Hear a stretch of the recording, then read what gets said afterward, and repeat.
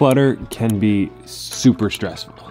But then again, so are so many different things, including being too busy, not having enough money, and always being distracted. So these are some ways that I have simplified my life, and you can too. And the last point can even make you some money settle for second best. In today's world, we have so many different choices of things to eat, where to go, how to spend our time, what car to buy, what shoes to buy, what show to watch. And sometimes actually making the best decision is not the best decision. See, when we overthink every little decision, trying to pick the exact best one, the best restaurant to go to, the best thing to have for lunch, the best color shirt to wear today, it can a lot of times actually give us decision fatigue. So that when we have those big decisions that are really important, we're kind of tired and worn out at that point. So recently I've tried being okay with not getting the best all the time and just making fast choices on as many things as I possibly can. And I've realized that, well, yes, I might not get the best choice every single time. A lot of times it doesn't even matter. And if you spend two hours worrying about what is the best restaurant to go to, you might be disappointed when you get there as opposed to just taking 30 seconds, picking one going, and then like whatever happens, happens. Obviously this doesn't work in every case, but just stopping sweating all the little decisions in our lives can make our lives a lot more simple finish one task at a time. We all know that multitasking isn't really effective, and yet we still try to do it pretty much all the time. So whether it's with work or just like cleaning up a room or decluttering or whatever you're doing, try making a conscious effort to not multitask. When you're cleaning up that room, don't stop to get food, don't answer your text messages, don't start watching a TV show. Just focus on one thing at a time, get that thing done, and then you can move on to other things. When you narrow down your focus, how long everything takes goes down dr dramatically and also your enjoyment of those tasks kind of goes up and it becomes less stressful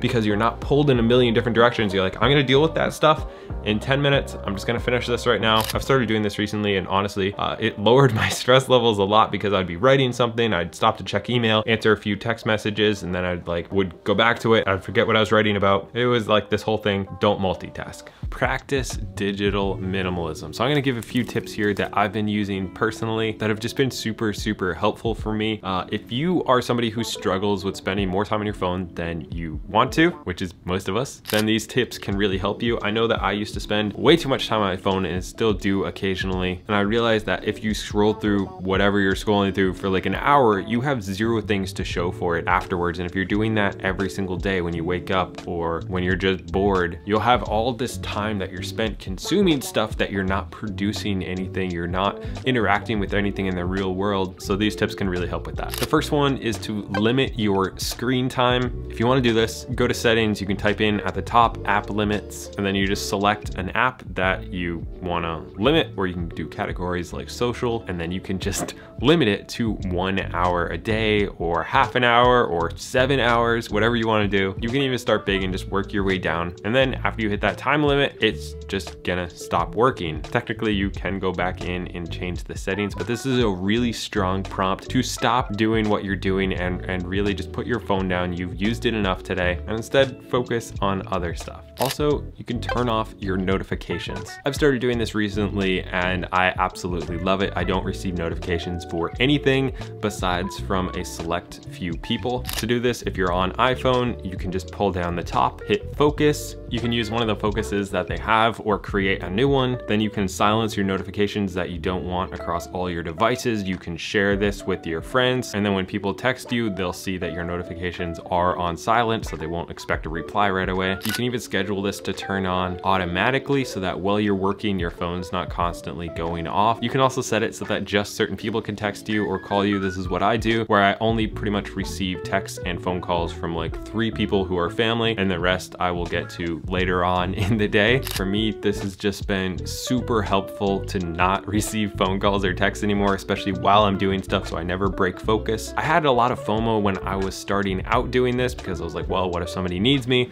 Nobody actually needs you, like it'll be fine. And those few people who do need you, you can actually give them access to be able to text and call you. And the rest of it can just go away until you're ready to deal with it. Learn from other people's mistakes. I've made a lot of mistakes in my life, but I've also avoided a lot of mistakes, mostly because I learn from other people as much as I possibly can, because I'm, I'm just lazy like that. Whether it's reading books or taking classes, investing into your mind and into yourself is, I think, the, the best investment you can make. And that's why I partnered with the sponsor of today's video, Skillshare. Skillshare is an online learning community with thousands of inspiring and creative classes, but they also have hundreds of career-based classes as well. And I know right now uh, with myself and a bunch of other people are trying to move forward in their careers or start a side hustle. And that's where Skillshare can really help you out, make more money, save more money, uh, just be more productive. Honestly, there's just so much great information on there. Right now, I'm taking a class by Ali Abdaal called Productivity for Creators. I'm a very unorganized person, so uh, this has been pretty helpful for me so far, but it's also a great blueprint for anybody starting a creative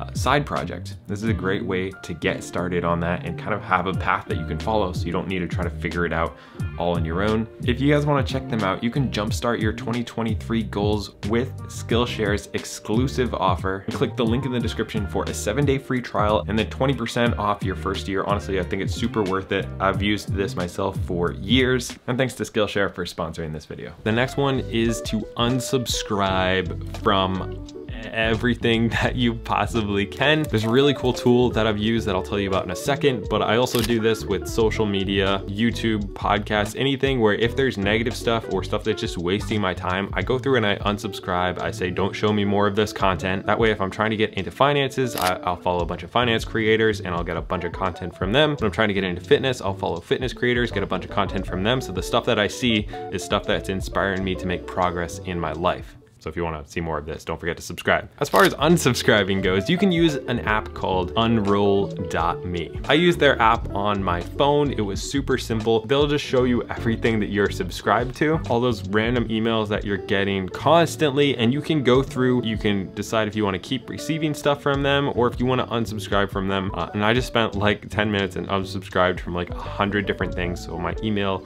uh, went way down how much junk I had to sort through. I would definitely recommend this. It can also save you money if you're not constantly seeing stuff from people you don't want to see stuff from. I'll leave a link to this down below if you want to check it out keep your to-do list shorter, like between one and three things. A lot of times when we have 10 things on our to-do list, we won't get done any of them or we won't get done the important ones. Usually there's one to three things that if you get done that day will make a big impact towards getting closer to your goals, actually getting your work done, those things that you know you should do, but instead you do all the little stuff first. You check your email, you return a phone call, you do all the little things to avoid the big things because the big things are the things that you can fail at so subconsciously you don't actually want to do them. At least that's what I do. So I started writing down between one and three things on my to-do list for the day and the rest of the stuff I can maybe either have in a subcategory so I don't forget to do them or I just won't write them down and if they don't happen, they don't happen. But I'm not allowed to start those other things until I get my big uh, three done and usually I have a one, like I have the, the first thing that's most important and then a couple other things and that's pretty much it. Every time I generally have like two things to three things that I write down every day and the rest of it I just that's all I write down. This really gives you clarity on what you're trying to accomplish every day, and for me at least, that really simplifies my life. Use the 2x declutter. So if you don't know what this is, it's probably because I just made this up, but it's kind of like the strategy uh, that I use where we took one room and decluttered that room and tried to make a home for everything inside of it. Consequently, when you have a room that's like decluttered and clean all the time, it's way easier to clean up when like uh, maybe your kid makes a mess or you make a mess. Uh, you can clean it up in like five minutes, which is super super fun and, and way less stressful for me. But then once you declutter and you get it the way you want it to look, put a box next to that room, in that room, or for us, we keep it by the front door. And as things start to build back up, because they will over time, you can get rid of things and put them right in the box to donate, to throw away. And it might also inspire you to, as you're walking through other rooms in your house, grab a few things that you're like, hey, I haven't used this in a year. I forgot I even own this thing what is this? Who gave it to me? And you can just put it in the box and, just get rid of it. Out of sight, out of mind, and you want as many things out of your mind as you possibly can. For me, having a clutter-free home has reduced my stress a lot. I've done a bunch of videos uh, on, uh, on faster ways to declutter and stuff. If you guys wanna check those out, I'll link some below and at the end of this video. But honestly, it's super, super helpful.